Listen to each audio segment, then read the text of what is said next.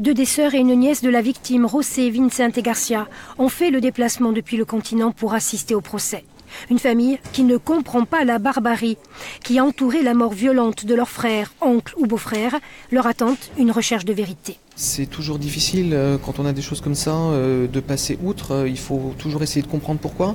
Elles attendent également d'apaiser leur douleur parce que lorsque vous assistez à un procès, euh, ça vous permet aussi euh, de tourner la page. Elles ne tourneront jamais la page définitivement, mais ça leur permettra aussi de, euh, de signer la fin de cette, de cette aventure judiciaire. Gérard Giorgetti, filmé ici dans sa fonction de gardien de nuit, a d'emblée déclaré n'avoir rien fait. Dans ses boîtes en carton, dans ses dossiers, sont conservés les éléments à charge, les prélèvements qui ont conduit à sa mise en accusation.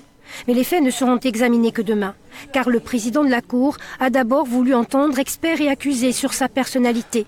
Interrogés en visioconférence, psychologues, psychiatres décrivent une personne en apparence gentille, mais manipulatrice, agressive, pour sa défense pourtant, le dossier est contestable. Ça fait plus de trois ans qu'il est euh, en détention provisoire et il a à cœur euh, de dire ce qu'il a à dire sur ce dossier euh, comme il le peut, hein, parce que quand on est innocent et quand on clame son innocence, c'est toujours très compliqué de venir le démontrer. Il a eu le temps de prendre connaissance du dossier, il le connaît et il tente comme il peut de, se défendre. Dans le box, Gérard Giorgetti, cheveux gris, petite lunette, est impatient de s'exprimer.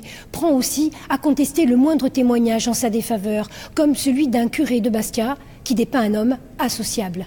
Envers et contre tout, Gérard Georgette n'en démord pas et il assène avec véhémence, mais sans prononcer le prénom de celui qui l'a pourtant logé pendant 11 mois.